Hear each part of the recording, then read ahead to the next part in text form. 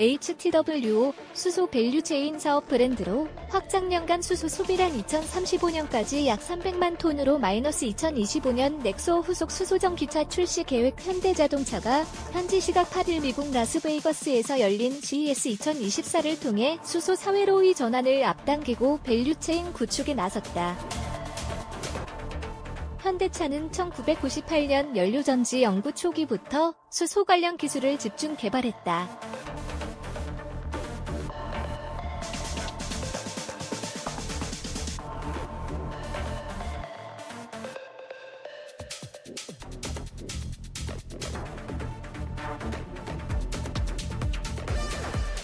이후 2013년 투싼라인 35 수소전기차의 세계 최초 양산을 거쳐 25년 넘게 수소 에너지 기술에 투자해 수소 분야 리더십을 지속 강화해왔다. 수소 에너지는 청정하고 무한하며 세상 어느 곳에서나 존재한다는 특성을 지니고 있다. 수소는 다양한 방식으로 생산 및 활용이 가능하고 다른 에너지원 대비 높은 에너지 밀도로 저장 및 수송에 강점이 있다. 동시에 특정 에너지에 대한 의존도를 줄여 에너지 안보 측면에서 안정적 확보가 가능하다.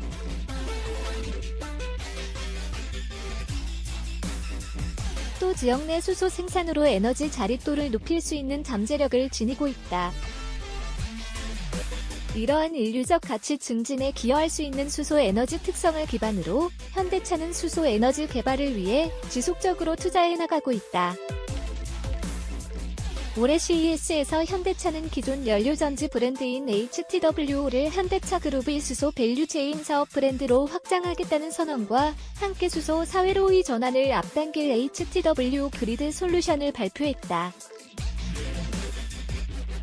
현대차 그룹의 수소 밸류체인 사업 브랜드인 HTWO는 그룹 내 각 계열사의 역량을 결합해 수소의 생산, 저장, 운송 및 활용의 모든 단계에서 소비자의 다양한 환경적 특성과 요구에 맞춰 단위 솔루션, 그리드를 결합하고 최적화된 맞춤형 패키지를 제공한다.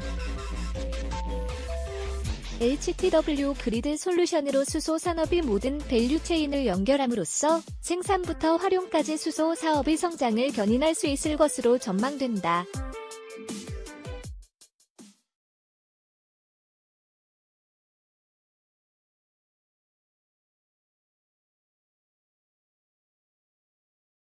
먼저 현대차는 수소 생산 관련 다양한 기술을 개발 중이다.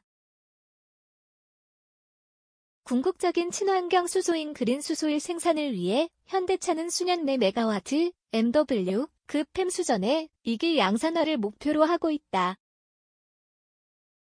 현재 알카라인 수전해 대비 PEM 수전해 수소 생산 비용이 약 1.5배 정도 비싼 편이나 향후 수소 전기차용 연료전지 부품 및 생산 인프라 공용화를 통해 현재의 PEM 수전해와 알카라인 수전해 대비 경쟁력 있는 가격으로 수소를 양산할 수 있다는 것이 현대차 그룹만의 차별성이다. 또 현대차는 폐기물을 활용해 수소를 생산하는 자원순환형 수소 생산 기술도 공개했다.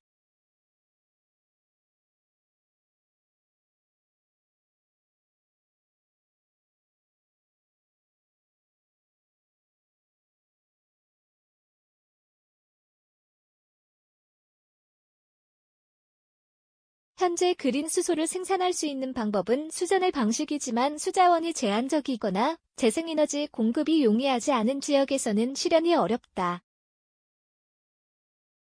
현대차는 이를 해결하기 위해 생활 폐기물을 수소로 전환하는 자원순환형 수소 생산 기술을 개발하고 있다. 추진 중인 자원순환형 수소 생산 기술은 유기성 폐기물을 수소로 전환하는 방식, 이하 W2H, 폐플라스틱을 수소로 전환하는 방식, 이하 P2H 두 가지로 나뉜다. 첫 번째 방식인 W2H는 음식물 쓰레기, 하수슬러지, 수처리 과정에서 생긴 침전물, 가축 분뇨 등과 같은 유기성 폐기물에서 발생된 메탄을 정제해 바이오가스를 만든 후 수소로 변환하는 방식이다. W2H는 지역 내 수소 생산 거점을 만들 수 있어 수소 운반 및 저장 과정의 비용을 절감함으로써 수소 자원의 독립성을 높일 수 있다는 장점도 특징이다. 제 방식인 P2H는 재활용이 불가능한 폐플라스틱을 액체 상태로 녹이고 가스와 공정을 통해 합성가스를 생산한 뒤 이를 정제해 수소를 생산하는 방식으로 대규모 수소 생산이 가능한 것이 특징이다. 현대차 그룹은 수소의 생산뿐 아니라 저장, 운송 및 활용에 있어서도 다양한 기술을 개발 중이다. 수소는 액체, 기체 및 고체 방식으로 저장이 가능하며 천연가스와 마찬가지로 육상, 해상 등 다양한 방식으로 운송이 가능하다. 실제 적용 사례로 현재 서울 광진구에서 이동형 수소 충전소를 운영 중이며 향후 제주도 등으로 확장 운영을 검토하고 있다.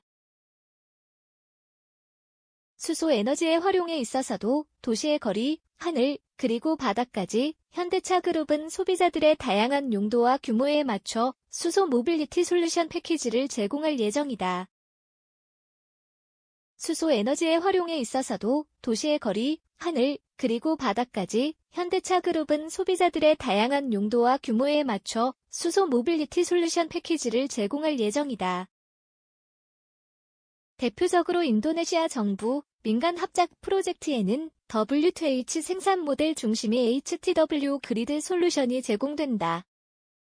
인도네시아는 탄소 중립 달성을 위해 수소 솔루션 도입에 높은 관심을 보이고 있다. 차 그룹의 주요 생산 거점이 위치한 서부 자바주에 적용되는 W2H 생산 모델 중심의 솔루션으로 지역 단위 에너지 자립 문제 해결이 가능해질 것이며 이를 확대해 나갈 계획이다. 현대차 그룹의 주요 생산 거점이 위치한 서부 자바주에 적용되는 W2H 생산 모델 중심의 솔루션으로 지역 단위 에너지 자립 문제 해결이 가능해질 것이며 이를 확대해 나갈 계획이다. 외 미국 캘리포니아 항만 친환경 트럭 도입 프로젝트에 엑시언트 수소전기트럭 30대가 참여해 품질 검증 및 배기가스 감소 등을 테스트하고 있다.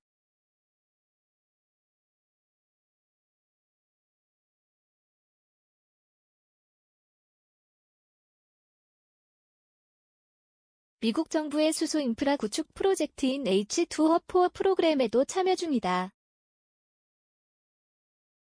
동시에 글로벌 이커머스 기업들과 협업해 현대차 수소 전기차 모빌리티 기술을 통해 탄소 중립 물류 인프라 구축에도 기여할 예정이다. 메타 플랜트가 건설되고 있는 조지아주와도 사바나 지역의 청정 물류 프로젝트를 추진한다.